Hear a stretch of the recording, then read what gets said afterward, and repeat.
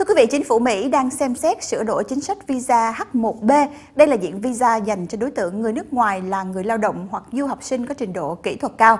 Việc siết chặt chương trình này đang khiến cho các du học sinh lo lắng.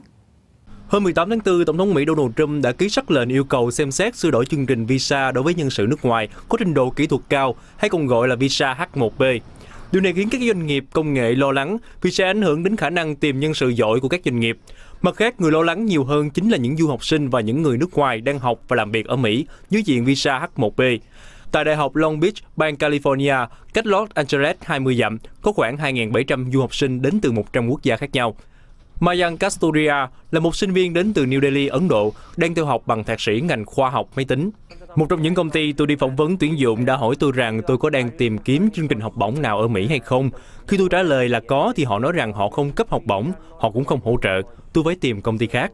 Ngoài ra, Castoria cũng đang làm thêm với vị trí kỹ thuật viên của một đài phát thanh địa phương. Castoria cho biết chính sách mới sẽ gây khó khăn cho người nước ngoài làm việc ở Mỹ. Tôi rất lo lắng về những gì đang xảy ra. Dĩ nhiên khi chúng ta đi du học, khi làm việc ở nước ngoài thì đã có trù tính sẵn trong đầu. Nhưng tôi không ngờ việc siết chặt chính sách sẽ xảy ra. Chuyện xin việc làm của chúng tôi ở đây sẽ rất khó khăn. Trong khi đó, về phía trường California, đại diện nhà trường cũng bày tỏ sự lo lắng. Trong nhiều năm qua, chúng tôi dựa vào những con người có trình độ đến từ các quốc gia khác để lấp đầy những chỗ trống về nhân lực trình độ kỹ thuật cao. Nếu như chính sách thay đổi, chúng tôi cũng phải tìm cách khác. Thông thường nhân sự các ngành kỹ thuật công nghệ muốn làm việc và sống ở Mỹ cần phải có học bổng và visa H1B. Trong chiến dịch tranh cử, Tổng thống Donald Trump từng khẳng định sẽ siết chặt diện visa này để tạo thêm công ăn việc làm cho người Mỹ.